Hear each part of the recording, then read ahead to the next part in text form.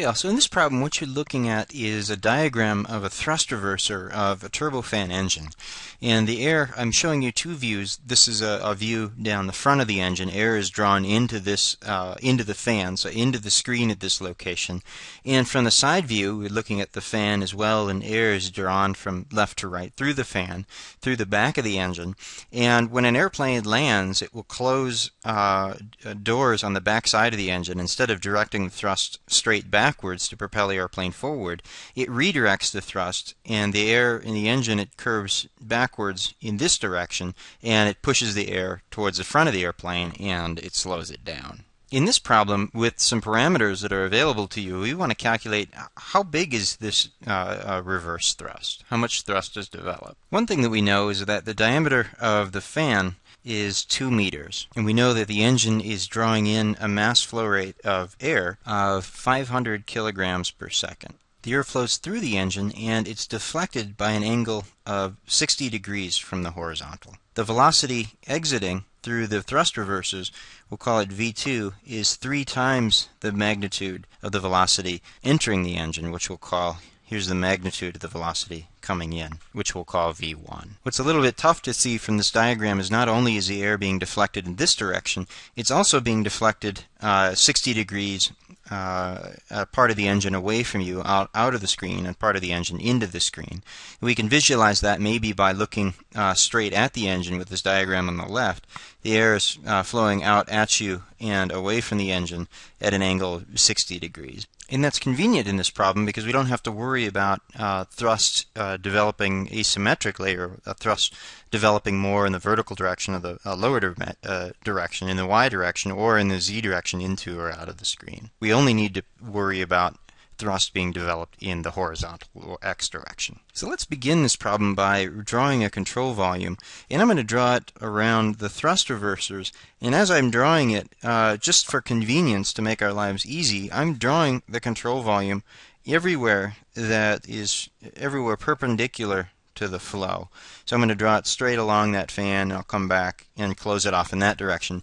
And in three dimensions, this control volume, uh, you could imagine it would be um, I'm trying to draw it uh, all the way around the engine itself, but in all locations I'm drawing the control volume so that it is perpendicular to the flow. And here I've drawn, uh, brought in the equation, uh, momentum equation in the x direction, and because I only care about the x direction, I haven't included the y and the z directions. Uh, one thing that's going on is that this problem is at steady state, and under steady state conditions, this time derivative will go to zero. So what we need to do is brainstorm all of the uh, forces acting on the control volume and then uh, identify fluid locations where fluid flows into and out of the control volume. Now the only force acting on the control volume is the force of the thrust reversers on the air. And that'll look, uh, that uh, force will occur on this back region of the engine. And what it does, what it serves to do, is I've got negative momentum entering the engine uh, I've got momentum in the negative x direction entering the engine.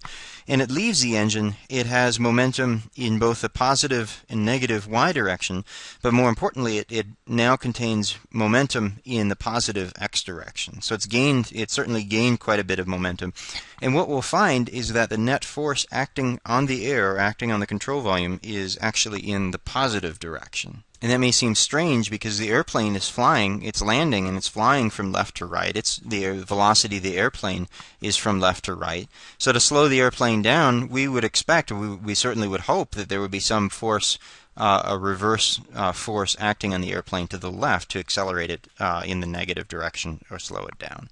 But what we'll find when we work with this equation is that we'll find a force acting on the air in the positive direction. And by Newton's third law, it means that the air is acting on the thrust reversers in the negative direction. So let's write it out. Here's the force, let's say the force of the reversers acting on the air. And that force is the only force acting on the air. It's the only uh, thing that the air encounters as it flows through. You note that the sum of forces is not zero in this case. It's not a static problem. And now let's identify where air crosses the control volume. It crosses, of course, it passes through the fan at the entrance and then exits the control volume at a location uh, exits through the thrust reversers. And I've called these locations 1 and location 2. So let's break this area integral up into two separate area integrals. The first one will integrate over the surface area of the fan. So we'll say u rho uh, v dot n dA for the fan. And then surface 2 is the thrust reversers, and we'll integrate the same equation uh, over the area of the reversers. Let's evaluate the dot products at these two surface areas. If we examine the fan again, surface area 1, here's the unit normal, n1, and thus v1 dot n1 is equal, because the arrows are acting in opposite directions is equal to the negative magnitude of the velocity coming into the engine. And if we examine the second surface area, the unit normal on area 2 is acting in the exact same direction as the velocity. So v2.n2 is equal to the magnitude of the velocity coming out of the reversers. What we also need to find are the x components of the velocity at locations 1 and 2. We need to find uh, little u1, for example. In this case, the velocity v1 is acting only in the negative x direction. So u1 is equal to negative the magnitude of v1.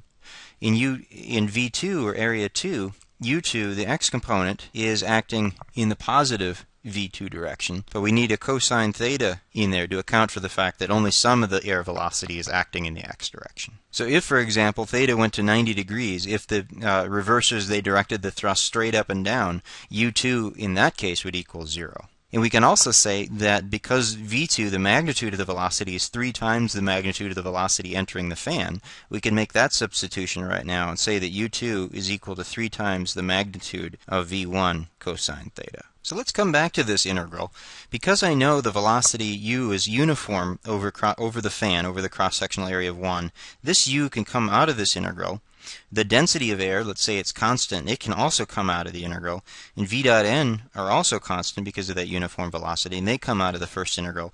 And we can say that these, uh, all three of these can come out of the second integral as well. So I can write this. I'll say evaluating integral 1 over the first surface area is u1 rho times, and be careful with the signs now, the negative magnitude of v1 times a1 plus the second integral is u2 rho now times the positive magnitude of v2 times a2. What I can also note is the simplification that the mass flow rate is equal to the density of the air times the magnitude of the velocity coming into the engine times a1 and that mass flow rate has to all the mass coming into the engine has got to leave through the thrust reversers. And that's equal to the density of the air times the magnitude of the velocity at v2 times a2 and I'm going to make that substitution on both of these terms and I'll come up with uh, an expression for the thrust of the reversers acting on the air is equal to negative m dot times u1 plus m dot times u2. What I also know is that u1 is equal to the negative the magnitude of the velocity entering the engine, and that's equal to a negative, and I'll use q1 for the volumetric flow rate, divided by the area of that fan.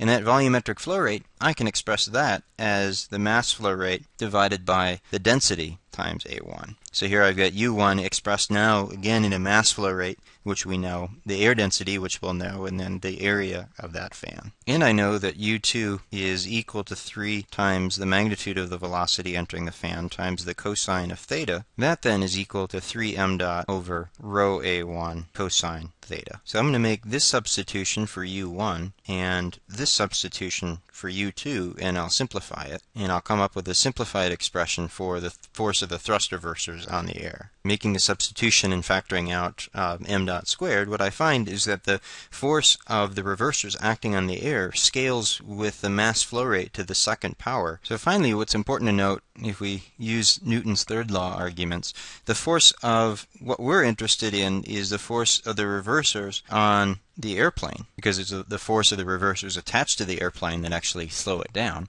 And that'll equal, that'll be exactly equivalent to the force of the air acting on the reversers, and that's equal to the negative of the force of the reversers acting on the air, which is what we found by this uh, by this analysis. And it's just the negative of this uh, expression here. So finally, with numbers, is a value of negative 200,000 newtons, and this is equivalent to negative to 45,000 pounds acting in the negative x direction.